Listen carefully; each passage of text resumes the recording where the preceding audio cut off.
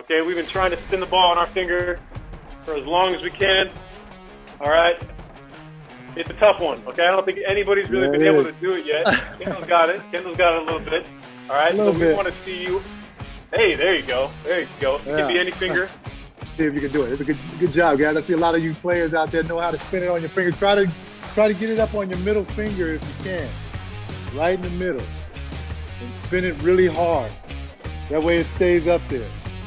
I need one more who can do it. Let's go. Beautiful, beautiful. One, two, three, go.